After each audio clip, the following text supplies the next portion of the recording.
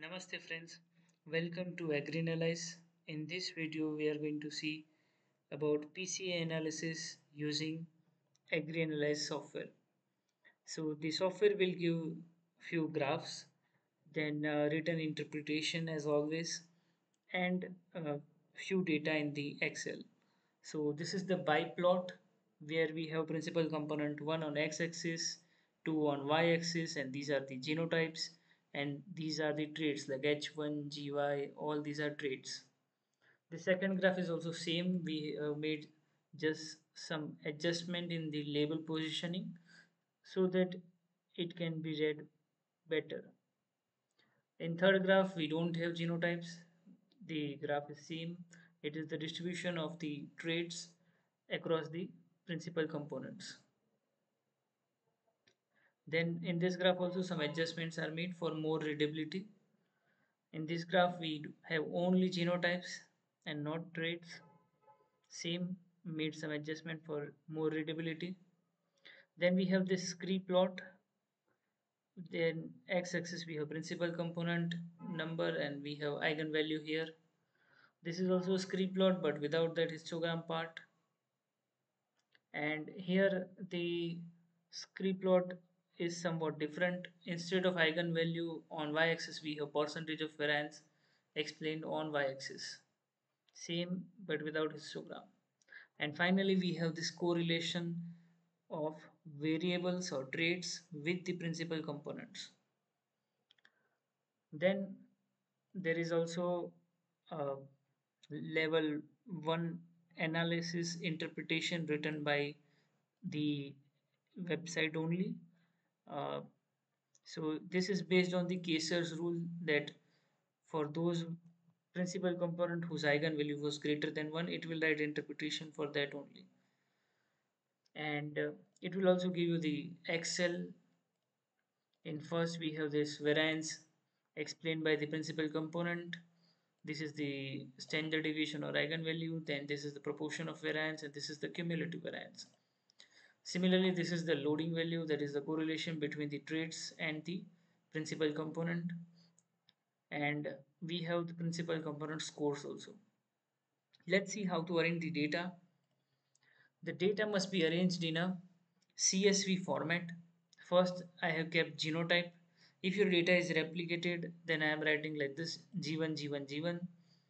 Uh, it will take the mean while doing analysis, so it will perform group by of on your genotype so these three g1 g1 g1 these three uh, replications will become one uh, for that specific genotype g1 and on the other other columns are regarding the traits. All these columns must be numeric in nature.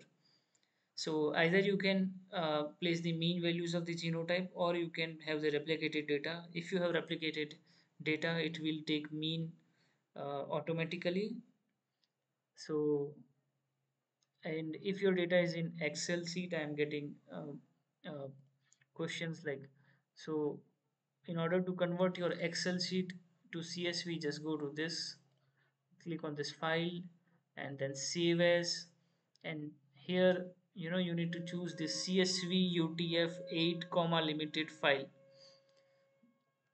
So this will convert your excel file into csv file. Mine file is csv only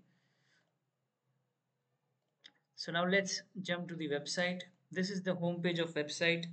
Website name is www.agrianalyze.com if you are using for the first time you need to register yourself by using your mobile number and email id and then you can uh, use this website. Go to this analytical tool. In this there is a genetics and plant breeding analysis option. And here select principal component analysis gpb so we have added the word GPB because we have some changes for the principal component analysis in context to plant breeding. Normal principal component analysis is also available in multivariate analysis and principal component. So here we will choose the CSV file that I have shown to you guys. So it's a CSV underscore data and in this genotype I need to select this genotype column and the rest of the uh, variables or traits can be seen here. Try to make sure that you keep your column name uh, small because in your all your graphs and uh, you know if your column name is very large the graph will look very clumsy. And also if your number of genotypes are large then keep the name of the genotypes like g1 g2 g3 or you can also use 1 2 3 4 5 6 like that and if the number of genotypes are less let's say 15 20 then you can give the proper name of your genotypes then i'm clicking on the submit on clicking on the submit button you will get this summary basic summary that is i have 40 genotypes. Total number of observation were 20 because my data was replicated thrice in RCBD. Then my number of traits are 9. These are the nominal charges to perform the analysis but currently if you are performing analysis and if it's written free then it's like no charge. Otherwise it will have some nominal charge. And if you are a student then while selecting that thing you can also opt for that option. You will get some discount. Now click on the submit button once i click on the submit button i am all done. No need to write you know code and do you know any analysis. It will do automatically for you. Now click on this download button and you can see our analysis got downloaded.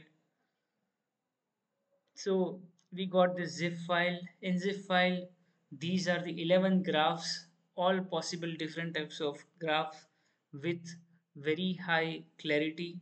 You can see and this is the PCA interpretation file that I have shown and this is the PCA output that contains the uh, variance proportion explained by the principal components correlation matrix and PC scores also uh, I would like to share with you the you know clarity of the graph.